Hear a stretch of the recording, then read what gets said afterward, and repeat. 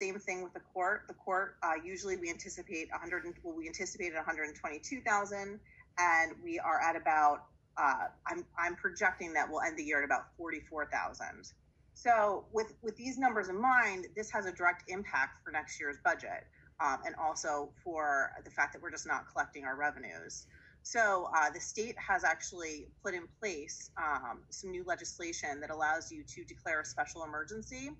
And what you can do is you can spread this revenue loss to future years' budgets. So tonight there's a few things on the agenda that uh, that will cover that. There's a very tight deadline, so the deadline to be able to do this would be December 1st. So I need to submit to the state for approval um, this special emergency application, explaining to them um, exactly what are what revenues we usually generate and what we're looking at to what we're projecting to generate this year to show them that loss. So then what they'll allow you to do is still almost show that you you did receive those revenues. So I'm looking to um, I'm looking I'm looking at a three hundred thousand dollars special emergency revenue um, emergency appropriation, so that we could then um, we can then rely on that three hundred thousand dollars next year in our fund balance, but we don't have to actually raise it next year. We can spread it over five years and subsequent years budget starting in 2022.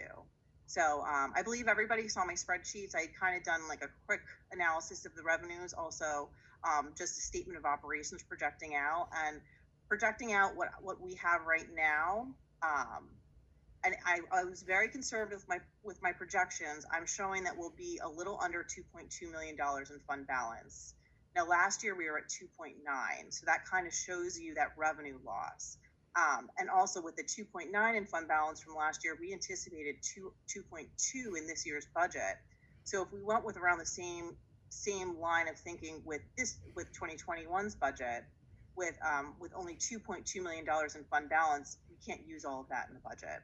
So this will allow us to actually, um, this will allow us to roll more into fund balance and just raise it in subsequent years' budgets. So instead of instead of ending at 2.2, we would end up end up at 2.5, and then we could still anticipate 2.2 in the budget and have a little bit of a balance left in our fund balance, and just you know really work hard on you know projections and budgeting so that we can we can then get back to where we were at one point.